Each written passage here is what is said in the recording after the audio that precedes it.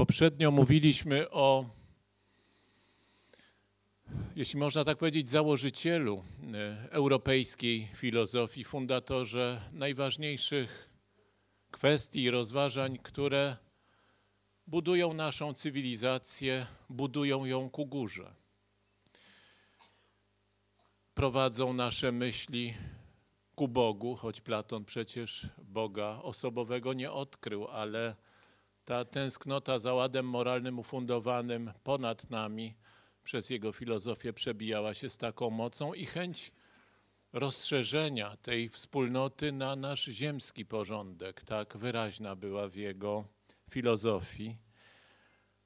Ta chęć złamała się, jeżeli można tak powiedzieć, w starciu z rzeczywistością polityczną. I tak jest zawsze. To jest doświadczenie, którego nie umiemy przezwyciężyć.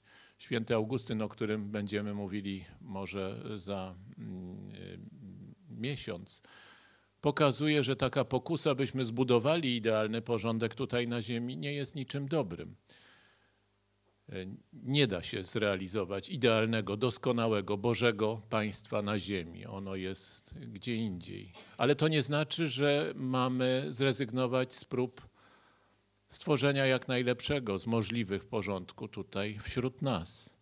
I następca uczeń Platona, Arystoteles ze Stagiry, bohater dzisiejszego, e, jeżeli można tak powiedzieć, krótkiego e, wprowadzenia, Y, stworzył, jeżeli można tak powiedzieć, najszerszy, najbardziej zniuansowany zespół odpowiedzi. Trudno go nawet nazwać systemem, dlatego używam określenia zespół odpowiedzi na pytania, jak w granicach ludzkich możliwości ten dobry porządek polityczny może być zrealizowany. Przypomnijmy, że w momencie, kiedy Platon kończył swoje życie, Ateny były już po przegranej, e, wielkiej, wyniszczającej cały świat grecki wojnie, wojnie peloponeskiej, w której przegrały z koalicją państw ze Spartą na czele. E, kolejne jakby dominujące nad zespołem państw miast greckich ośrodki, najpierw Sparta, potem Teby, w końcu Macedonia, e, pozbawiały złudzeń te mniejsze miasta, państwa, że zbudują suwerenną, własną strukturę polityczną. Ten właśnie czas rozczarowań, jakże bliski pod wieloma względami rozczarowań, które przeżyła cywilizacja europejska w XX wieku, wychodząc od szczytu potęgi, tak jak Ateny kiedyś, do, przez wyniszczające ją wojny do stanu upadku, mm, kryzysu w którym się po 1945 roku e, znalazła. Odpowiedzią na ten kryzys były próby znalezienia jakiegoś sensu życia poza polityką. Pierwszą taką odpowiedź przyniosła szkoła cyrenajska, e, właściwie współczesna z ostatnimi latami życia Platona, która nakazywała kompromis z każdym ustrojem, który się nadarzy. Przyjdą, prawda, Macedończycy, ich monarchia, to jesteśmy monarchistami, prawda. Zapanuje demokracja, to jesteśmy demokratami. Ponieważ mędrzec z dystansem i obojętnością przygląda się przemianom świata tego. Y, dobrem w tym przypadku y, nie jest to, co rozumne, ale to, co przyjemne. A więc żyjmy przyjemnie w takich warunkach, jakie możemy sobie prywatnie wykroić w tym systemie politycznym, w jakim przyszło nam żyć. Tego rodzaju oczywiście nastawienie możemy najkrócej nazwać jednym słowem, e, słowem już łacińskim, nie greckim, oportunizm. To jest właśnie szukanie wygody, najprostszego rozwiązania, które pozwala nam odrzucić jakieś trudne ambicje i zadowolić się najprostszym przeżyciem życia, bez tej wskazówki e, z dołu do góry prowadzącej. Wśród uczniów Sokratesa znaleźli się także cynicy, którzy odrzucili ograniczenia, jeżeli można tak powiedzieć, moralności e, związane z tymi zasadami, o których uczył Sokrates. Uważali, że państwo, tradycja są sztucznymi ograniczeniami dla życia ludzkiego, które, które może się realizować w pojedynkę, w poszukiwaniu własnej natury, indywidualnego człowieka. A więc nie tylko państwo, nie tylko tradycja, ale także rodzina, własność to wszystko są rzeczy, które e, są wytworem, jeżeli można tak powiedzieć, konwencji, mogą być odrzucone. Najsłynniejszym z sceników był e, Diogenes Synopy, mieszkający w beczce, ten, który kiedy stanął przed nim zaciekawiony, Aleksander Macedoński powiedział e, władcy ówczesnego świata, by się odsunął, bo zasłania mu słońce, prawda? Więc człowiek sam na sam z naturą, to jest ta wizja, w której nie ma miejsca na politykę, nie ma miejsca właściwie na potrzebę skupiania się z innymi ludźmi, zobojętnienie na wszystko poza własną osobą, indywidualnie uprawianą, jeśli można tak powiedzieć, cnotą. To jest ideologia, którą można by porównać do dzisiejszej czy raczej rozwijającej się już od 60 lat przynajmniej kontrkultury, prawda, od 68 e, roku czy wcześniej. Odejdźmy, ucieknijmy od tego świata, który wydaje nam się zły, zamknijmy się gdzieś osobno albo w kręgu podobnie jak my myślących ludzi, którzy odrzucają te wszystkie konwencje i pluńmy na cały świat, na jego, jeżeli można tak powiedzieć, przyzwyczajenia, tradycje, obowiązki. Arystoteles wybiera inną drogę. Drogę, którą pójdzie rozwój myśli politycznej przez wieki i utrwali się najgłębiej tutaj, w Polsce, w Rzeczpospolitej. Dlatego szczególnie warto pamiętać, wracać do Arystotelesa.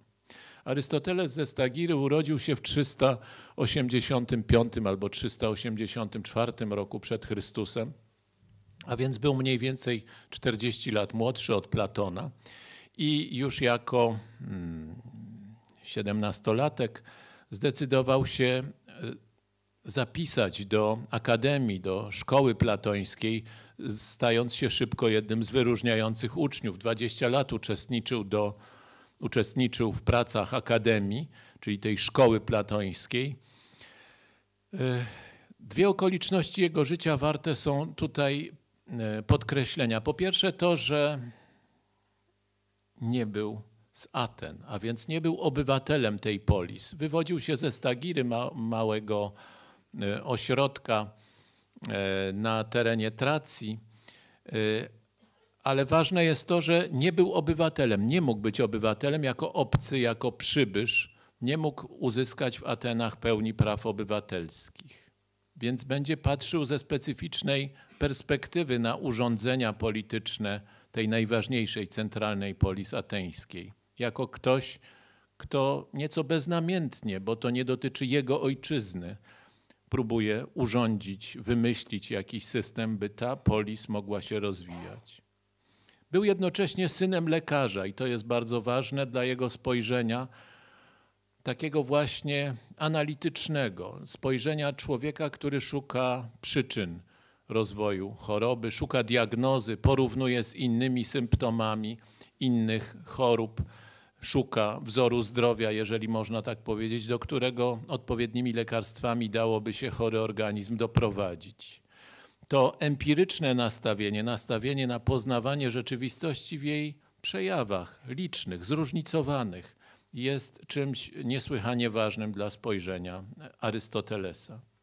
Tak się złożyło, że Platon wyznaczył innego niż Arystoteles następcę do kierowania e, swoją akademią i po śmierci Platona Arystoteles zdecydował się opuścić Ateny.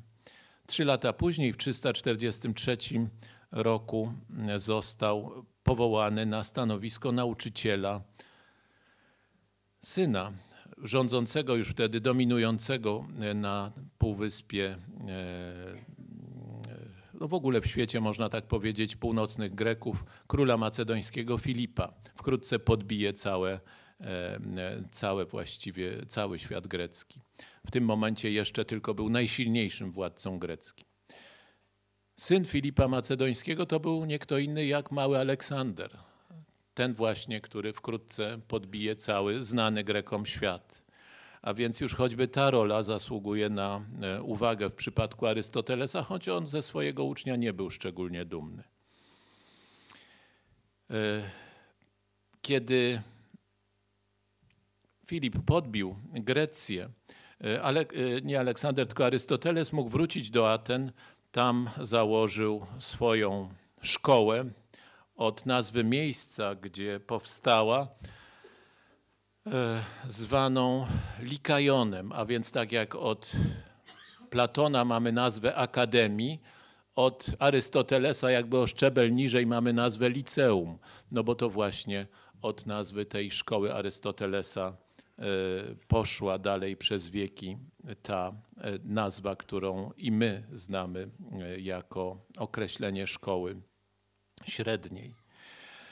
Kiedy Aleksander zmarł i wydawało się, że Grecja będzie mogła się zbuntować, Ateny przeciwko panowaniu e, macedońskiemu, e, obawiając się reakcji swoich, no można tak powiedzieć, e, nie tyle współobywateli, ile współmieszkańców Aten, bo obywatelem wciąż nie był, Y, bojąc się, że może go spotkać los Sokratesa, to znaczy, że w tej reakcji antymacedońskiej nauczyciel Aleksandra Macedońskiego, właśnie zmarłego, może być y, ofiarą nagonki, zdecydował się wyjechać. Arystoteles z Aten i zmarł ostatecznie na wygnaniu w Chalkidike na wyspie Eubea w roku 322 przed Chrystusem.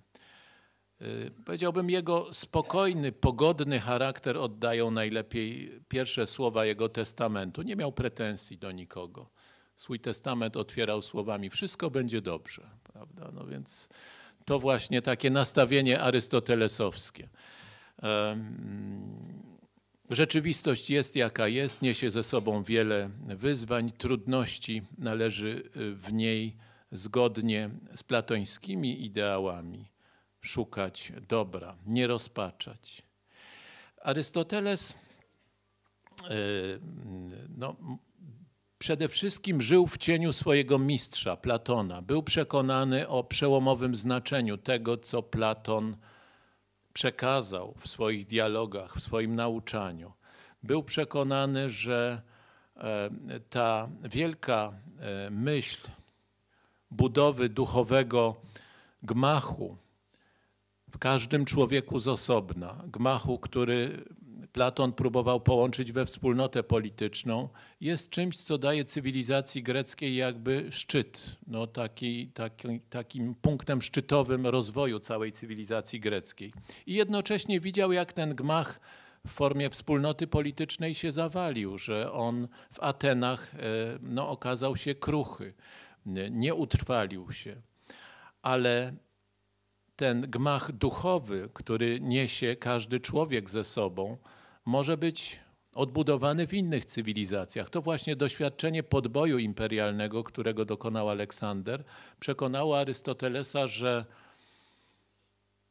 nie jesteśmy przywiązani w rozwoju, jeżeli można tak powiedzieć, ludzkiej duchowości tylko do jednego miejsca że ludzki duch może rozkwitnąć, jeżeli zwiędnie w jednym miejscu, może rozkwitnąć w innym, w innej cywilizacji. Jednocześnie Arystoteles chciał przeciwstawić się upadkowi ducha e, w tym świecie, który uważał za własny, za najbliższy sobie, w świecie greckim. I dlatego chciał się zmierzyć z tym podwójnym wyzwaniem, jakim było z jednej strony no właśnie przeniesienie ciężaru politycznego życia na dwór imperatora gdzieś do Azji, który podbija przecież wtedy Persję, Indię, e, Afganistan. A z drugiej strony przeciwstawić się tej pokusie, która rozwijała się w jego greckim świecie, to znaczy wycofania się poza politykę, tak jak właśnie cynicy, mm, jak sceptycy, o których teraz nie będę mówił, może na końcu e, tego mm, spotkania będę jeszcze mógł do nich wrócić. Otóż chciał nawrócić niejako jeszcze raz filozofię do polityki. Arystoteles rozwija swoje rozważania e, na kilku płaszczyznach. E, no przede wszystkim trzeba zwrócić uwagę, choć to nas nie będzie interesowało tutaj, na gigantyczną skalę jego zainteresowań e, i działalności intelektualnej. To jest człowiek, który zapisał swój wkład niemal w każdą dziedzinę wiedzy. Biologia, fizyka, chemia, psychologia, to są wszystko dziedziny, które zaczynają się od Arystotelesa, od jego pism odpowiednio, e, że tak powiem, zaadresowanych do różnych gałęzi rzeczywistości. A wiemy, że wiele z jego pism nie dotrwało do naszych czasów, zwłaszcza jego wczesne pisma, utrzymane jeszcze w formie dialogów. Te pisma, które nie dotyczą przyrody, przyroda to e, e, spolszczając e, z grecka można by powiedzieć fizyka, a więc to, co po pismach przyrodniczych, to metafizyka, czyli po przyrodzie, po, po, przyrodniczych pismach. Stąd nazwa metafizyka także jest wynikiem uszeregowania pism Arystotelesa. Arystoteles dzielił nauki, którymi się zajmował, na teoretyczne i praktyczne. Pisma praktyczne to przede wszystkim jego etyki, etyka nikomachejska, jego najważniejsze w tym zakresie dzieło, mniejsza etyka zwana eudemejską e, i polityka. Pismo tak właśnie zatytułowane, a więc etyka nikomachejska i polityka to są dwa najważniejsze pisma, w których porusza Arystoteles zagadnienia związane z układaniem wspólnoty między ludźmi, z układaniem stosunków między ludźmi, z układaniem także już państwa czy polis w węższym tego słowa znaczeniu. Inaczej niż Platon, y, Arystoteles układa swoją myśl nie w formie dialogów. Pisał, wiemy, na początku dialogi, ale one się w większości nie zachowały. Natomiast te najważniejsze pisma, o których mówię, mają charakter notatek do wykładu, bardzo, że tak powiem, porządnie zorganizowanych, no to jest wykład, to jest książka naukowa, można to tak właściwie odczytywać, jak książkę naukową. To nie jest dzieło sztuki, tak jak w przypadku Platona, dialogi. E, mało tam jest metafor, a e, po prostu jest to wykład systematyczny, analiza kolejnych przykładów, zagadnień, odkrywanie problemów, jakie się wiążą z poznawaniem rzeczywistości. Rozróżniając nauki na teoretyczne i praktyczne, E,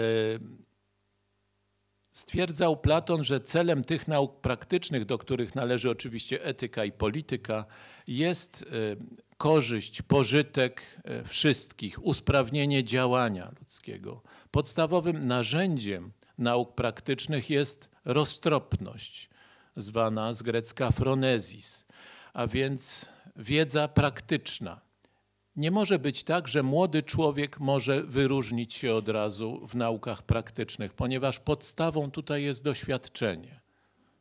To z góry jakby, no nie tyle z góry, bo argumentował to, ale Arystoteles wyklucza taką możliwość, by młody człowiek od razu mógł wystąpić w roli nauczyciela, mentora w zakresie nauk praktycznych. Tu potrzebne jest doświadczenie, którego nabywamy tylko z wiekiem z kolejnymi przeżyciami.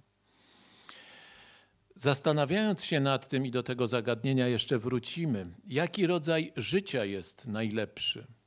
Czy życie poświęcone praktyce, działaniu praktycznemu, czy życie poświęcone zagadnieniom teoretycznym, życie naukowe, czy filozoficzne w wąskim tego słowa znaczeniu, Arystoteles raczej skłania się na początku swoich rozważań ku życiu teoretycznemu, bios theoretikos.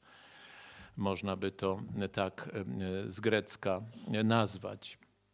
Otóż e, jak pogodzić te dwie tendencje? Z jednej strony chcemy działać praktycznie, chcemy wśród ludzi być i z nimi współżyjąc czynić wzajemnie nasze życie jak najlepsze, a z drugiej strony chcemy w swoim świecie, swojego ducha rozwijać się, e, kształcić, doskonalić indywidualnie. Jak pogodzić te dwie tendencje, które są w nas i w których różnie jedni w jednej, drudzy w drugiej z tych tendencji odkrywają swoje powołanie. To jest jakieś zagadnienie bardzo ważne, w której tej relacji między naukami teoretycznymi postawą teoretyczną, a postawą praktyczną odkrywa, odkrywa Arystoteles. E, w szóstej księdze e, Etyki Nikomachejskiej Arystoteles e, rozróżnia praktyczną, czyli polityczną wiedzę na trzy gałęzie. Etykę, naukę o kształtowaniu charakteru, ekonomię, naukę o zarządzaniu gospodarstwem i politykę w węższym sensie tego słowa, czyli naukę rządzenia, ponieważ wszystkie te trzy nauki obejmuje także Arystoteles wspólną nazwą polityki. A więc polityka w szerszym rozumieniu według Arystotelesa obejmuje także etykę. Nie da się rozerwać etyki i polityki. Tworzą one razem wraz z ekonomią, nauką o e, zarządzaniu właśnie dobrami, jeżeli można tak powiedzieć, materialnymi, tworzą wspólną gałąź wiedzy praktycznej. Rozpoczynając swoje rozważania w etyce nikomachejskiej, swoje poszukiwania jakby rozwiązania problemów ludzkiej wspólnoty, Arystoteles wychodzi od stwierdzenia, że celem każdego działania jest jakieś dobro. Zawsze podejmujemy działanie, żeby uzyskać jakieś dobro. Oczywiście może to być dobro źle ukierunkowane. Może to być dobro, które nazwiemy dzisiaj nieobiektywnym chcemy komuś zaszkodzić, ale dla nas jest to jakieś dobro, prawda? Nacelowani jesteśmy na osiągnięcie czegoś, co nazywamy z własnej perspektywy dobrem. Otóż polityka jako nauka o państwie powinna włączyć wszystkie e, te umiejętności, które cenimy, w których możemy to dobro realizować w sposób istotnie dobry dla wszystkich, a więc Wśród tych umiejętności jest sztuka dowodzenia, która broni, znaczy to, to co służy bronieniu naszego domu, naszego, naszej wspólnoty, sztuka gospodarowania, a także retoryka. Retoryka potrzebna do przekonywania, do argumentowania wobec naszych współobywateli, co służy razem naszemu dobru. Zastanawiając się nad tym, co jest naturą ludzkiego dobra, Arystoteles stwierdzał, w sposób bardzo przekonujący, że naturą ludzkiego dobra jest szczęście. Szukamy szczęścia, szukamy, dążymy do tego, co uważamy za szczęście. To jest jednak oczywiście pojęcie subiektywne. Różnimy się w rozumieniu szczęścia. Arystoteles zawsze starając się, w tym jest jakby także jego, można powiedzieć, no, fundamentalna zasługa dla nauki, że on stworzył jakby metodę naukowego obchodzenia się z rzeczywistością. Podstawą tej metody jest dzielenie, systematyzowanie. E, prawda, e, pokazywanie różnych elementów rzeczywistości, czym one się różnią od siebie, jak można je ułożyć, by lepiej zrozumieć. Otóż trzy podstawowe sposoby życia, w których ludzie szukają szczęścia, to pierwszy życie oddane przyjemnościom fizycznym, prawda, rozmaicie rozumianym przyjemnością. Zgodzimy się, że bardzo wielu ludzi w taki sposób szczęście rozumie. Drugim rodzajem szczęścia jest życie, w którym poszukujemy przez działalność obywatelską zaszczytów, honorów. To jest przyjemność innego rodzaju, prawda? Rywalizujemy o dobro niematerialne, ale o to poczucie uznania, uznania w pracy na rzecz dobra wspólnego. Jest wreszcie trzeci rodzaj życia, ten właśnie, który oddaje łacińskie określenie vita contemplativa, a, czyli życie kontemplacyjne, a po grecku bios theoretikos, czyli właśnie życie poświęcone samodoskonaleniu, e, mądrości, poszukiwaniu własnej indywidualnej mądrości. Otóż e, szczęście, stwierdza e, Arystoteles, jest działaniem duszy zgodnym z nakazami swoistej dzielności. Czym jest ta dzielność, którą po grecku wyraża słowo arete, czyli cnota, to co inaczej tłumaczymy jako cnotę. Znów tutaj dzieli jakby Arystoteles cnoty na dwa podstawowe rodzaje czy grupy. Jedne to są cnoty dianoetyczne, czyli intelektualne, związane właśnie z poszukiwaniem mądrości, drugie cnoty etyczne, związane z kształtowaniem charakteru, emocji, namiętności. E, cnoty osiąga się przez działanie. Cnoty etyczne możemy utrwalić jako pewną dyspozycję przez wychowanie i o centralnym znaczeniu wychowania filozofii Arystotelesa, filozofii politycznej za chwilę będziemy mówili. Zastanawiając się nad tym, jak można tę trwałą dyspozycję ku cnocie nazwać, Arystoteles dochodzi do takiej oto definicji w księdze drugiej etyki nikomachejskiej. Cytuję: Działalność etyczna jest trwałą dyspozycją do pewnego rodzaju postanowień, polegającą na zachowaniu właściwej ze względu nas średniej miary, którą określa rozum. To Arystoteles jest twórcą pojęcia złotego środka.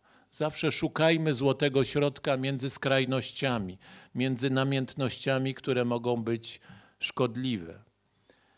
Oczywiście złoty środek nie wszędzie jest y, pożądany. Nie należy poszukiwać złotego środka w męstwie czy w niegodziwości. Niegodziwości trzeba unikać całkowicie, tak jak w męstwie należy szukać także no, pełni, jeśli można tak powiedzieć. A zatem, y, skoro uznajemy, że w większości naszego postępowania pożądane jest zachowanie środka pomiędzy skrajnościami, Arystoteles stwierdza, że cnota jest umiarem pomiędzy nadmiarem i niedostatkiem. I to będzie miało bardzo ważne znaczenie dla filozofii politycznej, dla określenia tego, jak urządzić państwo przez Arystotelesa. Arystoteles stwierdza, że byśmy od cnót przechodząc do próby zorganizowania sprawiedliwego państwa, doszli do e, rozwiązania tych zagadnień, które nas nurtują, jak to państwo ułożyć, musimy przejść do następnego pojęcia sprawiedliwości i prawa. I znów Arystoteles jako pierwszy, wciąż słyszymy, i to można powtarzać niemal nieograniczoną liczbę razy, Arystoteles robi coś jako pierwszy w historii ludzkiej myśli. Arystoteles jako pierwszy wprowadza rozróżnienie na E, to, co sprawiedliwe z natury, a więc moglibyśmy powiedzieć na prawo naturalne, wiemy to, prawda? Niepotrzebne jest żadne prawo spisane do tego, że na przykład kazirodztwo, które zaleca profesor Hartman, nie jest dobre. Niepotrzebny jest na to żaden paragraf, po prostu wiemy, że to nie jest dobre. I jest prawo stanowione, to spisane, które jest nam także potrzebne, przypomina nam o pewnych obowiązkach, które nie zawsze i niekoniecznie wynikają z prawa naturalnego.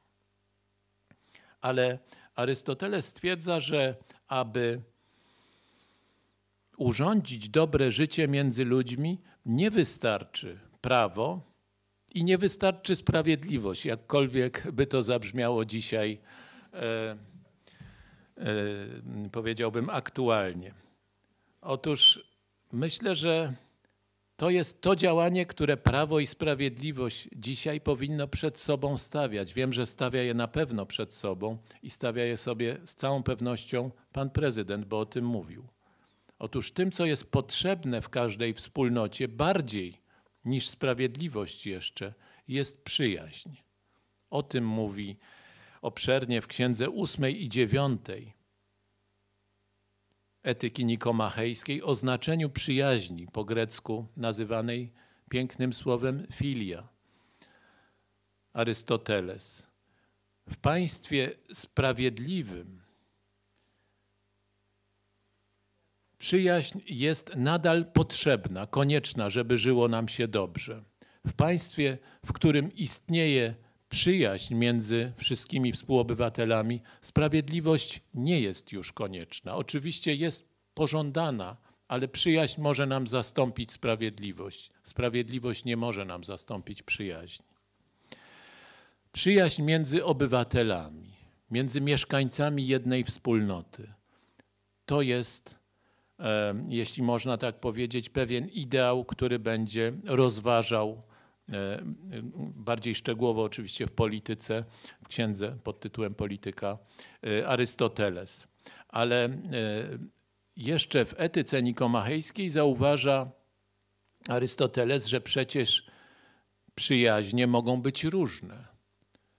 Czy nie możemy na przykład odkryć przyjaźni między gangsterami w mafii? Być może tam także obowiązuje jakaś przyjaźń do pewnego stopnia.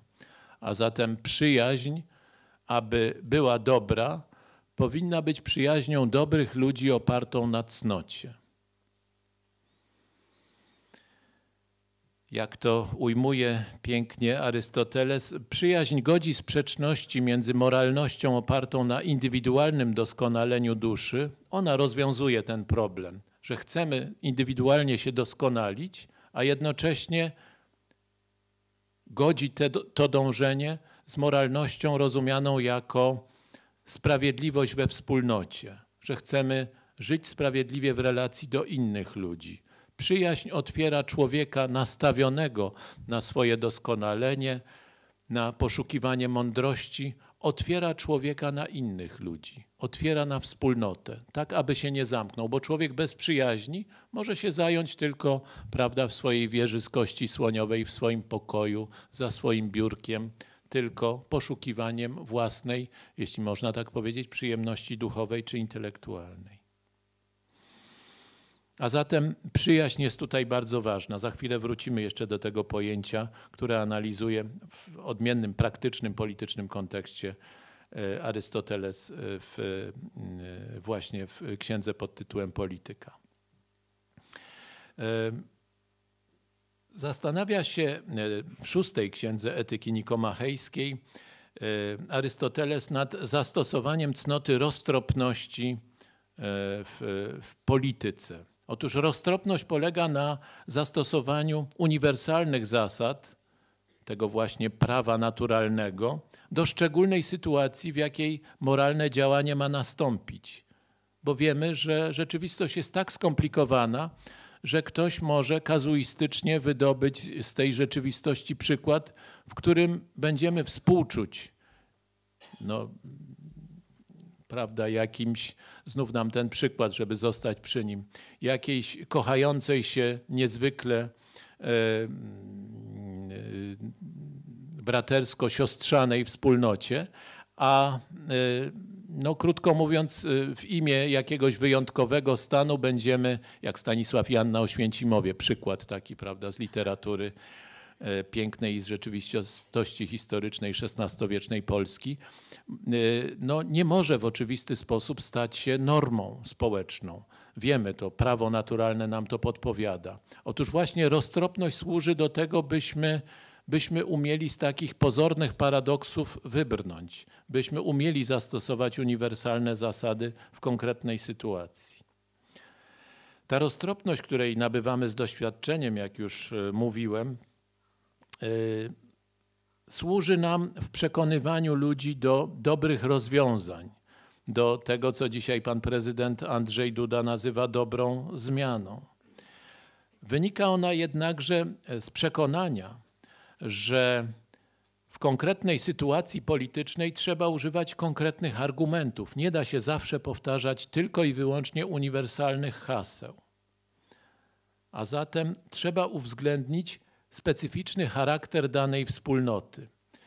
Arystoteles, jako właśnie empiryk, ktoś, kto zajmuje się rzeczywistością, wie, że wspólnoty ludzkie są bardzo różnie uformowane w różnych warunkach klimatycznych, e, naturalnych, przez różną historię ukształtowane i w związku z tym różnie mogą się do nich adaptować te uniwersalne zasady prawa naturalnego. E, jeszcze jednym elementem, który trzeba wziąć pod uwagę, zanim przejdzie się do szczegółowego rozważania tego, jak zbudować dobry porządek między ludźmi, nie tylko są okoliczności danej historii, danych, e, no można powiedzieć, e, uwarunkowań naturalnych, ale także psychika człowieka. To, że ludzie są równi i różni jednocześnie.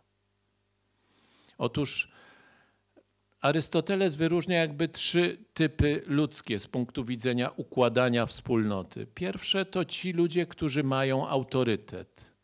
Drugie to ci ludzie, którzy umieją rozpoznać autorytet i go zaakceptować. Trzeci to ci, którzy ani nie potrafią rozpoznać, ani zaakceptować autorytetu. Żeby zorganizować dobrze wspólnotę, trzeba brać pod uwagę także tę trzecią, bardzo liczną grupę. I to właśnie konieczność zarządzania masami, do których nie dotrze argumentacja e, odwołująca się do dobra, do piękna, jest także elementem nauki polityki. Nie wszystkich ludzi można zachęcić do cnoty dysputą. Zdaje sobie sprawę z tego Arystoteles. Wielu natomiast jest podatnych na strach przed karą, bardziej niż na dyshonor. Prawda? Dyshonor nie jest problemem dla wielu ludzi.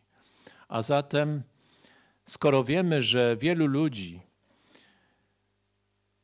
powstrzymuje się przed wejściem na złą drogę nie z powodu niegodziwości zła, ale z powodu zagrożenia sankcjami, potrzebne jest właśnie prawo stanowione i sankcje.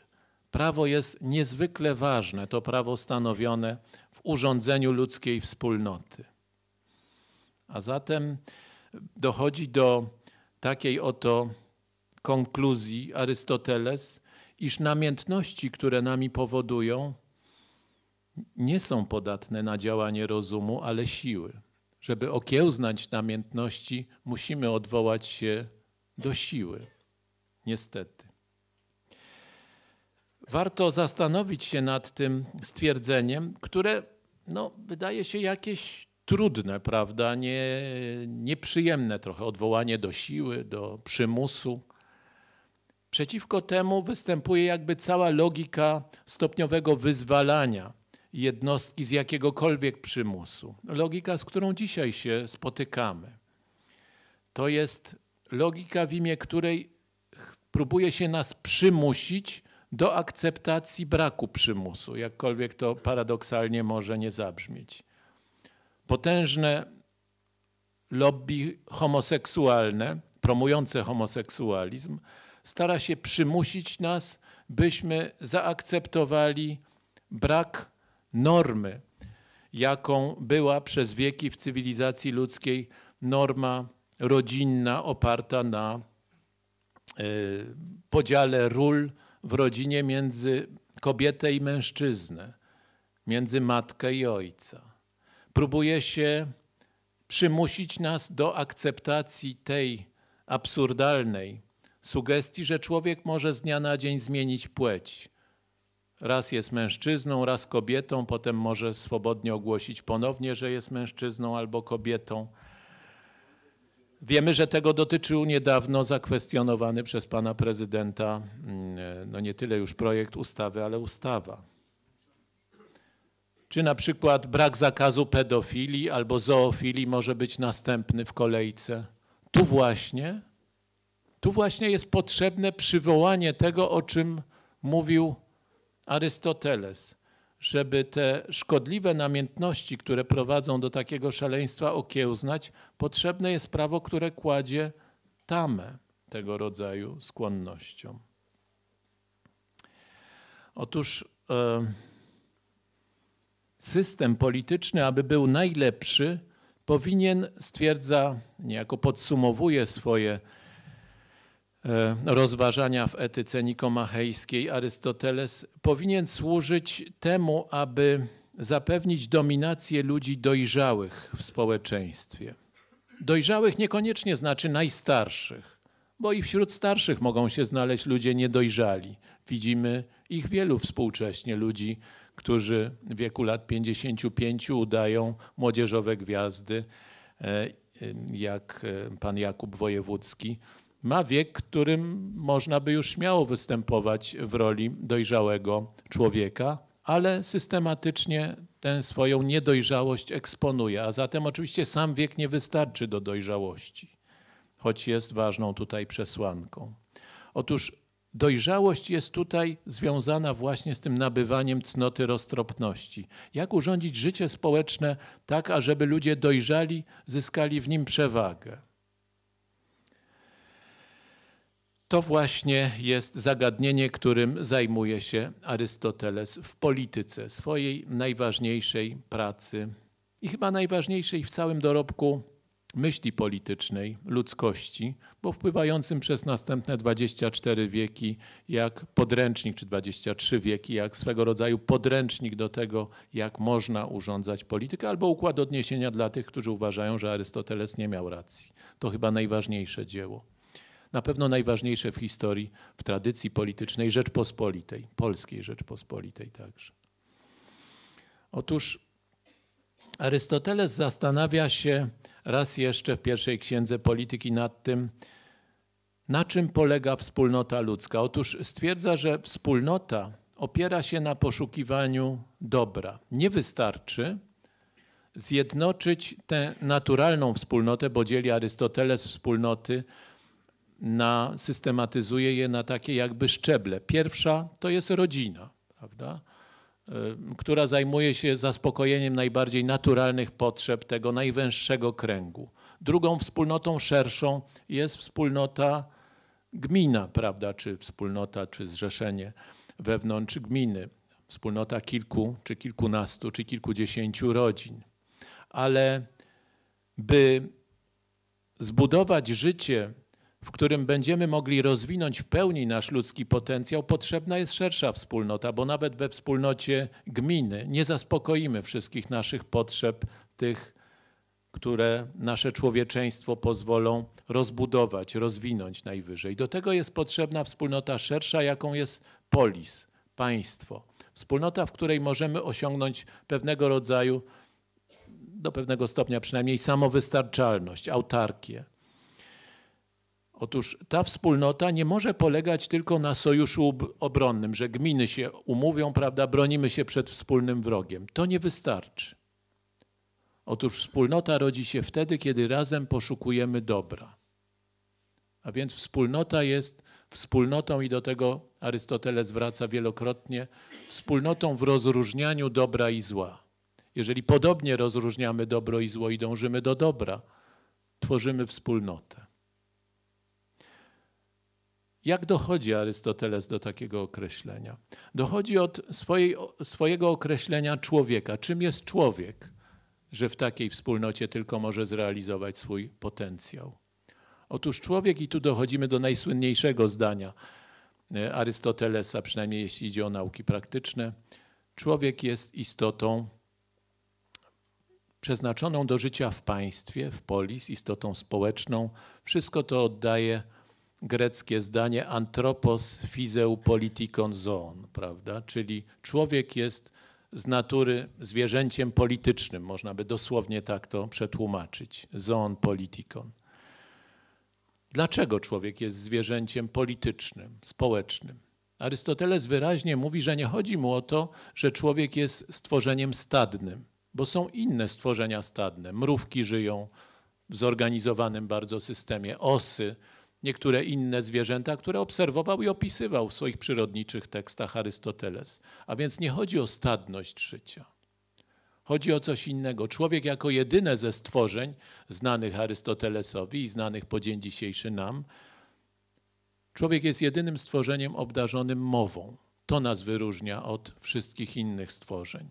Wiemy, że prawda, delfiny się porozumiewają jakimiś sygnałami, ale nie jest to mowa z całą pewnością tak rozwinięta jak nasza, ponieważ nasza mowa pozwala wyrazić nie tylko naturę. Prawda? Kiedy krzyczymy albo jęczymy, to no, nie jest to mowa. Prawda? Mowa pojawia się wtedy właśnie, kiedy możemy w niej wyrazić nasze głębsze uczucia kiedy możemy właśnie w niej wyrazić to, o czym powiedział Arystoteles, że jest istotą wspólnoty ludzkiej. Kiedy możemy powiedzieć, co jest dobre, a co złe. Możemy przez porozumienie z drugim człowiekiem osiągnąć zgodę lub ustalić, że się różnimy w tej zasadniczej kwestii. Czy podobnie pojmujemy dobro, czy też się zgadzamy. A zatem tylko przez mowę może zbudować się nasza przyjaźń. Przez mowę możemy ustalić warunki sprawiedliwości i wychowania. To mowa czyni z nas stworzenia polityczne. Arystoteles podkreśla to bardzo, żeby przeciwstawić się swoją definicją człowieka i swoją definicją wspólnoty tym prądom, które towarzyszyły jego czasom i które towarzyszą także naszym czasom te prądy, o których już wspomniałem, to z jednej strony próba przeciwstawienia się wspólnocie politycznej, no zamknięcia jak Diogenes w beczce, czy jak hipisi w jakiejś osobnej wspólnocie i powiedzenia, politykę odrzucamy. To nie jest nam potrzebne. Mogę żyć sam. Otóż Arystoteles mówi, że sam może żyć tylko człowiek, który nie dorósł do swojego człowieczeństwa, człowiek, który zatrzymuje się na poziomie zwierzęcym, albo człowiek, który jest Bogiem, który jest ponad ludzkością. Najczęściej oczywiście tego Arystoteles nie znał, y, bo mm, nie czytał księgi Genezis, ale ta pokusa będziecie jako bogowie kończy się właśnie tym, że upadamy do poziomu zwierzęcia, prawda? A nasze powołanie, nasza kondycja znajduje się pomiędzy, pomiędzy zwierzęciem a Bogiem, właśnie we wspólnocie z innymi ludźmi, w tej wspólnocie, której e, głównym narzędziem komunikacji jest nasza mowa, którą buduje nasza mowa. E, Arystoteles zastanawia się dalej nad pojęciem obywatela, czyli członka wspólnoty. Obywatel to ten, kto współdecyduje o rządzeniu przez urząd albo przez prawo głosu. Obywatel czy zawsze jest tożsamy dobry obywatel z dobrym człowiekiem? Otóż Arystoteles wywodzi, że skoro są bardzo różne wspólnoty, to nie zawsze tak jest, że dobry obywatel musi być dobrym człowiekiem. Najlepszy jest ustrój taki, w którym dobry obywatel jest jednocześnie dobrym człowiekiem, kiedy te dwa, e, że tak powiem, powołania czy formy istnienia człowieka nie są w sprzeczności między sobą. Bo znamy systemy polityczne, w którym dobry obywatel na przykład powinien donosić na drugiego.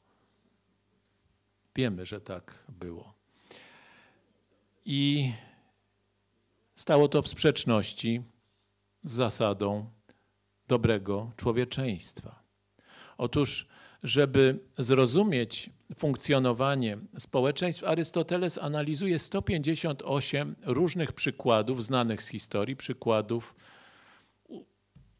ukształtowania wspólnot politycznych w różnych krajach, miejscach lub w różnych fazach rozwoju poszczególnych miast. Generalnie wydobył z tego mrowia przykładów, które wziął na swój warsztat, Arystoteles trzy podstawowe rodzaje ustrojów, z któremu każdy, z każdego z tych rodzajów towarzyszy forma zdegenerowana. Te trzy podstawowe ustroje to jest monarchia, arystokracja i politeia. W monarchii, oczywiście zasada tutaj jest bardzo prosta tej systematyki. W monarchii rządzi jeden człowiek, w arystokracji nieliczni, najlepsi, w politei rządzi wielu ludzi. Zdegenerowane formy tych trzech ustrojów, wypaczone, to oczywiście dla monarchii będzie tyrania, czyli rządy jednego w interesie jednego. Ten jeden rządzi wyłącznie dla siebie, po to, żeby zaspokoić swoje potrzeby. Oligarchia, w której ci nieliczni rządzą też tylko po to, żeby im było dobrze. I wreszcie demokracja czyli rządy w interesie tłumu, a raczej należałoby powiedzieć w imię najgorszych instynktów tłumu, najgorszych namiętności tłumu. Arystoteles y, w czwartej księdze polityki rozróżnia kilka jakby etapów demokracji.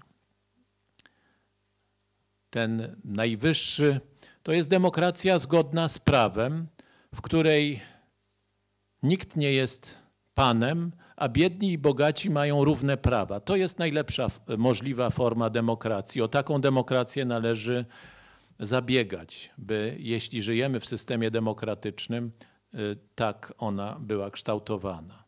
Gorszy rodzaj nieco to demokracja, w której rządzą wybrani na podstawie kryterium majątkowego nisko ustawionego, prawda? To znaczy no nie jest to jakaś zaporowa bariera, ale no część ludzi, tych nieposiadających w ogóle nic, jest wykluczona z systemu e, obywatelskiego. Jeszcze niżej demokracja, gdzie wszyscy obywatele, którzy nie zostali wykluczeni na podstawie jakichś tam ograniczeń, mają prawa, ale wciąż decydujące dla stosunków między mieszkańcami całej wspólnoty jest prawo. Ono pozostaje najważniejsze. Kolejnym systemem jest demokracja, w której nikt nie został wykluczony, A więc wszyscy, źli, dobrzy, e, degeneraci, e, wszyscy mają identyczne prawa i prawo wciąż jest najważniejsze.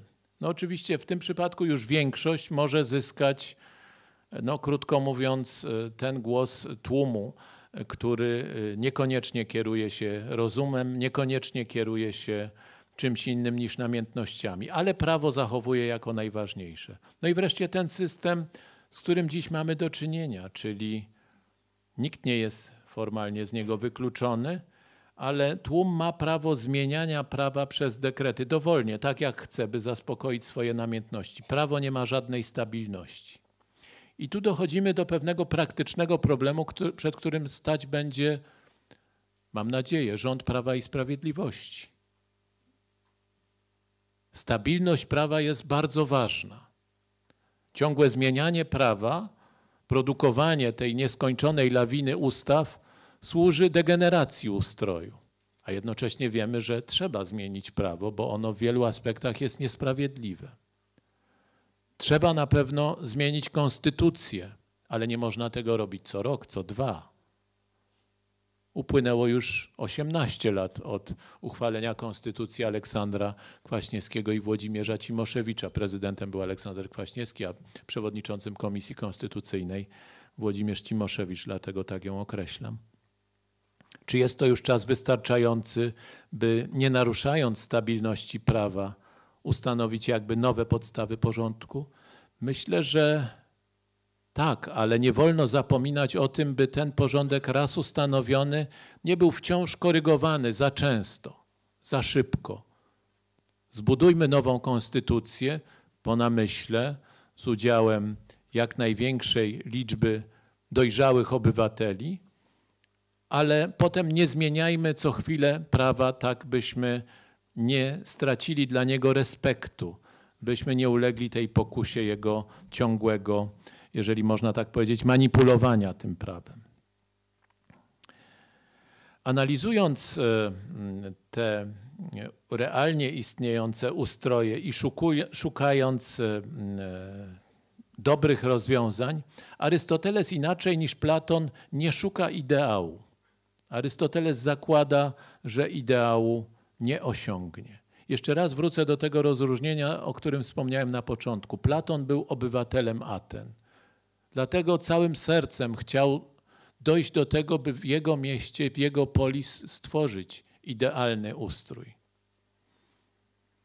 Arystoteles, nie będąc obywatelem Aten, porównuje różne ustroje jak uczony, jak naukowiec, prawda? Stawia się troszkę obok tej wspólnoty, w której żyje i jednocześnie to mu daje większą swobodę jakby w ocenianiu, co dobre, co złe, przez porównanie ale jednocześnie porzucił tę nadzieję na zbudowanie ustroju idealnego. A więc szuka przez porównanie ustrojów lepszych, by odróżnić je od gorszych. Nie szuka utopii, myśli raczej o reformie. Arystoteles, szukając takich dobrych warunków do rozwoju wspólnoty ludzkiej zwraca uwagę na znaczenie tego elementu, o którym już wspomniałem, to znaczy elementu pośredniego, złotego środka. By system był stabilny, a stabilność jest bardzo ważna w życiu politycznym, należy dbać o rozbudowę klasy średniej.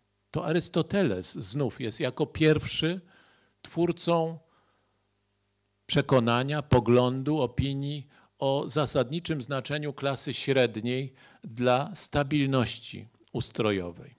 Dlaczego? Bo Arystoteles również jako pierwszy jest analitykiem walki klasowej. To nie Marx pierwszy analizował walkę klasową, ale Arystoteles bardzo szczegółowo na wielu przykładach analizuje przejawy walki klasy biednych, czujących się wyzyskiwanymi, z klasą bogaczy, którzy rządzą wyłącznie we własnym interesie i wyzyskują e, tę biedną część ludności opisuje, analizuje pasje, które w takiej walce w większości społeczeństw mają miejsce.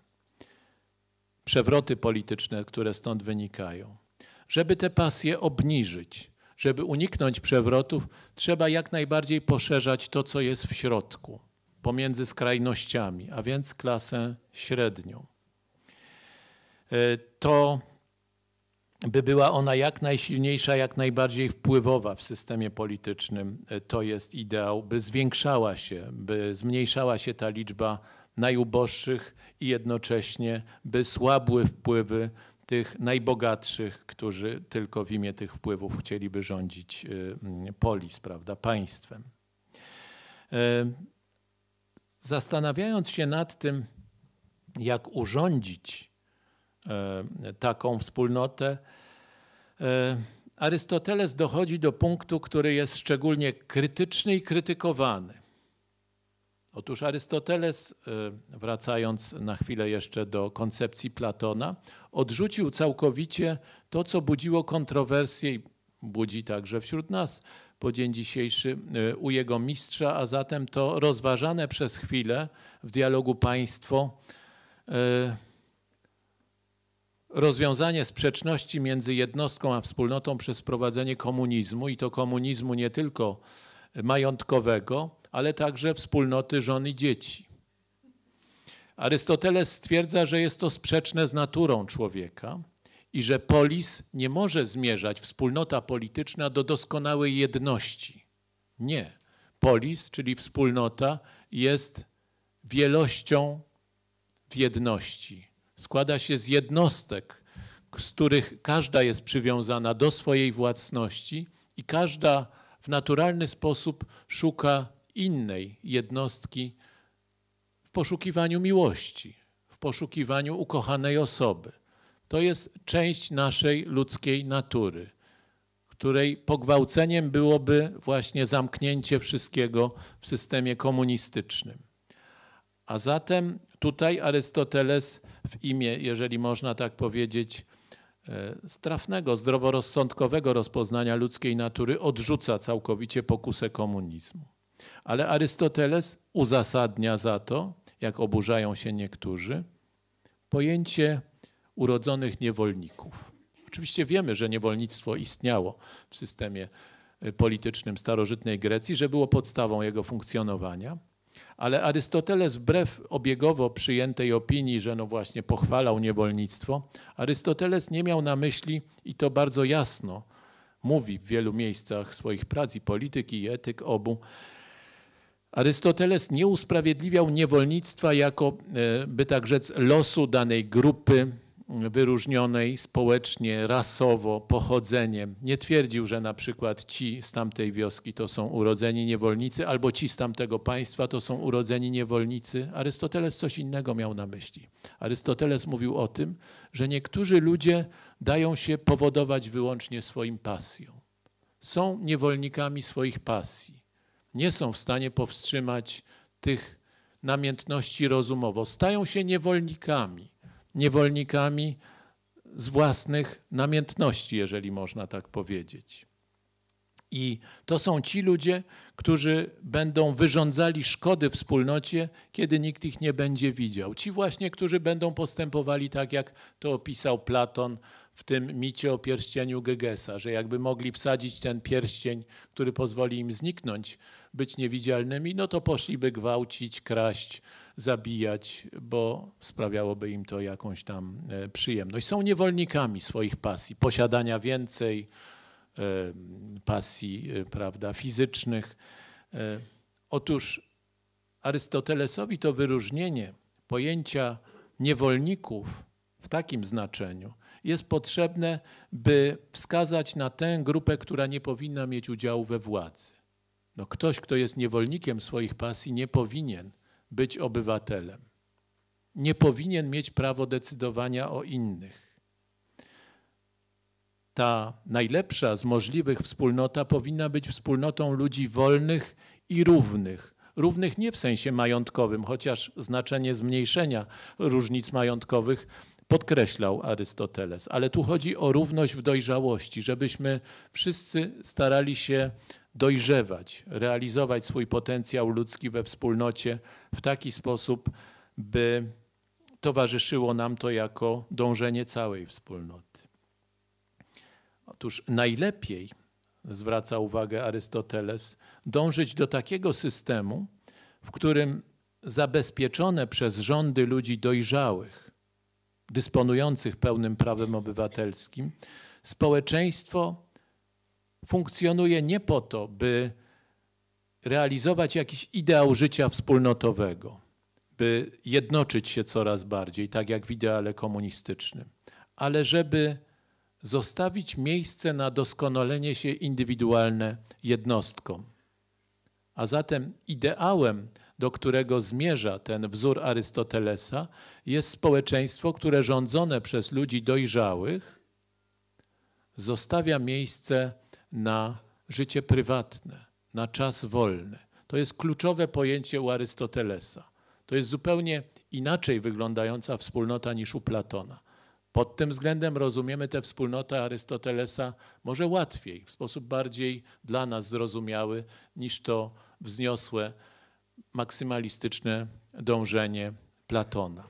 Otóż Arystotelesa ideałem jest taka sytuacja, że tworzymy wspólnotę, bronimy jej, jeśli trzeba, bronimy jej przy pomocy wojny, obronnej oczywiście, ale po to, by po tej wojnie, po tym wysiłku, po pracy znaleźć się w kręgu swojego czasu wolnego.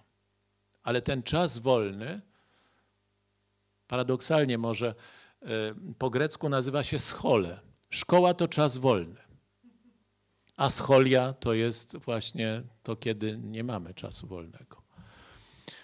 Otóż właśnie to pojęcie szkoła bardzo dobrze oddaje sposób rozumienia czasu wolnego przez Arystotelesa. Czas wolny to jest ten czas przeznaczony na naszą szkołę, na nasze dojrzewanie. To nie jest y, to, co oddaje pojęcie zabawa, paidia po grecku, tylko właśnie szkoła. Czas wolny jako czas, w którym już we własnym kręgu, wąskim, zamkniętym, możemy rozwijać się, bo wspólnota jest zabezpieczona, wspólnota jest dobrze rządzona. Spotykamy się z przyjaciółmi, razem z nimi tę wspólnotę kształtujemy przez nasze głosy, przez nasz udział we władzy, ale nie po to, by wyżywać się niejako w tym życiu wspólnotowym, ale po to, by mieć na końcu czas dla siebie na to doskonalenie. Arystoteles inaczej niż Platon mówi, e, wymienia dwie, dwie przykładowe formy tego doskonalenia.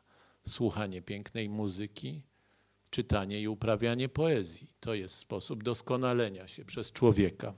Oczywiście no, zgłębianie filozofii to jest ten ideał, ku któremu zmierza Arystoteles. Jak jednak ukształtować tę wspólnotę ludzi wolnych i równych w swej dojrzałości? Otóż, żeby ludzie mogli dobrze rządzić, uważa Arystoteles, być dojrzali, potrzebują do tego także wolnego czasu. I dlatego Arystoteles wykluczył ze swojego systemu obywateli ludzi trudniących się pracą na roli, no bo warunki były ciężkie, trzeba było cały swój czas poświęcać tej pracy. Wykluczył także rzemieślników pracujących od świtu do nocy w swoim warsztacie. I to znów budzi nasz sprzeciw, prawda? No dlaczego? Jak to? Ale w tym argumencie, że potrzebny jest czas na to, by dojrzale uczestniczyć w życiu publicznym, od choćby taki czas, że Państwo przychodzicie tutaj na dwie godziny. Są ludzie, którzy nie mogą, nie są w stanie, pracują 20 godzin czy tam 16 w jakiejś korporacji, czy gdzieś nie znajdują tego czasu. Otóż o to chodzi, żeby człowiek który współdecyduje o sprawach politycznych, miał na to czas. I kiedy stwierdzamy, że nauka Arystotelesa, wizja Arystotelesa dobrej wspólnoty e, kształtowała ideał Rzeczpospolitej, pierwszej Rzeczpospolitej, to zobaczymy problem, który wiąże się z historią pierwszej Rzeczpospolitej centralny, wykluczenia chłopów wykluczenia mieszczan z Rzeczpospolitej. To właśnie dlatego, że twórcy Rzeczpospolitej, jej ideologowie, jeśli można tak powiedzieć, powołując się na Arystotelesa, mówili: No tak, ale chłop no, jest zajęty na roli, on ma swoje miejsce w naszej wspólnocie Rzeczpospolitej, ale obywatelem nie jest. była w tym z punktu widzenia już chrześcijaństwa pewna oczywista niesprawiedliwość, bo wszyscy jesteśmy obdarzeni jednakową godnością dzieci bożych i chłop, i rzemieślnik, i szlachcic, i król. A więc to napięcie, na które zwracali uwagę księża, choćby tacy jak ksiądz Piotr Skarga, ale przecież nie tylko on, pojawia się w Rzeczpospolitej, pojawia się właśnie wokół tego problemu, który e, z myślą Arystotelesa, z jego wizją dobrego porządku jest związany. Ale myślę, że ten warunek, który stawia Arystoteles, można w istocie zrozumieć w odniesieniu do życia Rzeczpospolitej, naszej pierwszej Rzeczpospolitej. Pierwszym krokiem ku wejściu chłopów do życia politycznego było ich wyzwolenie osobiste. No najpierw człowiek musi stać się wolny osobiście, móc odejść z miejsca pracy, oderwać się od niego, od tej ziemi, do której był przywiązany. To był pierwszy krok, który musiał być postawiony. Uzyskanie własności, drugi krok. Człowiek powinien mieć swoją własność, by uczyć się na niej odpowiedzialności. I trzeci krok to jest właśnie ta odrobina czasu, którą trzeba mieć, żeby móc poświęcić się sprawom publicznym. Nasze społeczeństwo chłopskie stopniowo będzie do tego dojrzewało. Czy mogło dużo szybciej? To jest pytanie oczywiście bardzo trudne. Dzisiaj myślę, rysuje się inny problem. Chłopi na szczęście i rzemieślnicy, czyli mieszczanie, kupcy, znajdą swoje miejsce wśród obywateli od końca XVIII wieku poczynając. Ale dzisiaj mamy do czynienia z problemem innym. Jak tych, którzy nie spełniają kryterium odpowiedzialności, przekonać, by zrezygnowali z tego szkodliwego dla wspólnoty uczestniczenia w życiu publicznym. Wiem, że to zabrzmi groźnie. Pani premier Ewa Kopacz najchętniej by zacytowała te słowa jako program Prawa i Sprawiedliwości, że oto chce pozbawiać niektórych ludzi praw politycznych, ale to jest problem bardzo poważny w istocie, pewnie nie do rozwiązania przez rządy w społeczności demokratycznej. Ale widzimy, że część ludzi nie z powodu braku czasu może, ale z powodu swojego niewolnictwa, swojego przywiązania do nieokiełznanych namiętności. Nie nadaje się do tego, by współdecydować o dobru wspólnym. To są ci, z którymi różnimy się niestety i to jest dramat najważniejszy naszej wspólnoty zakreślonej granicami trzeciej RP, zakreślonej prawem urodzenia, obywatelstwa formalnie nadanego tutaj, że nie zgadzamy się co do dobra i zła. Różnimy się w tej kwestii z częścią naszych współobywateli. Jak to zagadnienie, jak ten problem rozwiązać, to jest rzecz niesłychanie trudna. Arystoteles podpowiada, jaka jest droga rozwiązywania tego problemu. Otóż najważniejszą drogą kształtowania dobrej wspólnoty jest wychowanie. Wychowanie, pisze Arystoteles, winno być rzeczą państwa i takie samo dla wszystkich. A zatem prywatyzacja wychowania jest rzeczą bardzo szkodliwą. Wychowanie powinno być wspólne dla wszystkich obywateli. To, że podzielono wychowanie na dziesiątki konkurujących ze sobą wizji, oczywiście mogło się wydawać postępem wobec sytuacji, kiedy byliśmy poddani jednolitej indoktrynacji komunistycznej, prawda? Ale wraz z tym postępem dokonało się zło także. Zło polegające na rozbiciu wspólnoty, której fundamentem musi być wychowanie. Jak odbudować tę wspólnotę, to jest zadanie być może najważniejsze, z którym będzie praktycznie borykał się rząd Prawa i Sprawiedliwości. Myślę, że z tych wszystkich sekcji w Radzie Rozwoju Narodowego ta w istocie nie gospodarcza, nie ta, w której ja mam zaszczyt y, zasiadać, ale ta, która dotyczy edukacji, jest najważniejsza. Jak odbudować wspólny program wychowania dla najmłodszych? Ten wspólny program nie uratuje już straconego pokolenia, ludzi, którym TVN24, Gazeta Wyborcza wdrukowała do mózgów pewne klisze.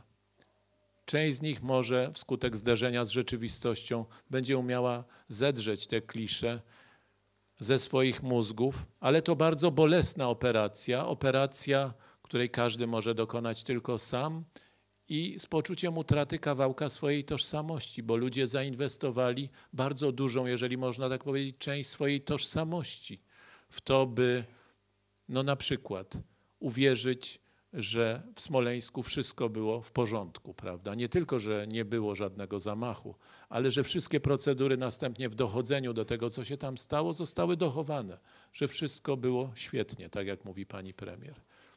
Bardzo dużej części z tych ludzi już nie przekonamy. Gdyby wskrzeszony został pan prezydent Kaczyński, obok niego stanął pan prezydent Putin i jednym głosem opowiedzieli, jak było, Myślę, że kilkaset tysięcy osób w Polsce odrzuciłoby takie świadectwo. Dlaczego?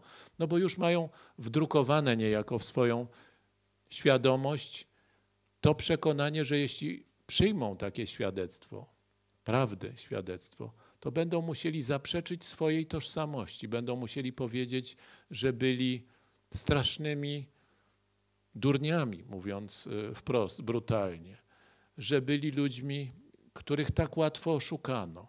Bardzo trudno jest się do tego przyznać. A więc program wspólnego wychowania, wychowania opartego na odwołaniu do rzeczywistości, na rozumie, na roztropności, na pewno nie będzie idealnie skuteczny. Ideału tutaj nie zbudujemy, ale musimy przywrócić wspólnotę wychowania dla młodego pokolenia, dla młodych ludzi, odwołującą się do ideału dobra wspólnego, dobra budowanego na prawdzie uniwersalnej, na prawie naturalnym, o którym mówił Arystoteles, ale także na okolicznościach, w których nasza wspólnota została ukształtowana, na jego specyfice. Nie jest tak, jak to przyjął no, prawda, uformowany duchowo w Instytucie Podstawowych Problemów Marksizmu i Leninizmu dr Leszek Balcerowicz, że wystarczy marksizm zamienić na naukę przyniesioną przez Jeffreya Saxa z Harvardu i już mamy idealne rozwiązanie dla Polski. Nie, nie da się tak przeszczepiać z jednej rzeczywistości do drugiej. Polska, tak jak każdy inny kraj, jest uformowana według y, okoliczności, specyfiki swojego rozwoju historycznego, swoich doświadczeń, swoich traum, swoich możliwości demograficznych, intelektualnych, kulturowych. I to także trzeba uwzględnić w procesie wychowania. To nie może być wychowanie tylko oparte na uniwersalnych zasadach, ale na ich roztropnym połączeniu z lokalnym doświadczeniem. Tym jednakże, co musi prowadzić to wychowanie, od którego zacznie się odbudowa dobrej polis w Polsce, to poszukiwanie wspólnego rozróżnienia dobra i zła. Od tego najmłodszego pokolenia poczynając, by jak najszersza grupa mieszkańców naszego kraju mogła powiedzieć tak, wspólnie rozróżniamy dobro i zło, rozumiemy się w tym zakresie. W różnych innych możemy się różnić, ale dobro i zło musimy rozróżniać wspólnie, by tworzyć wspólnotę. To przekonanie, chyba najbardziej, e, wydaje mi się, warto na progu wydarzenia, które nas czeka w tę niedzielę, przypomnieć. Odbudujmy wspólnotę rozróżniania dobra i zła. Odbudowujmy ją od tych wyborów poczynając. Bardzo Państwu dziękuję. Dziękuję bardzo.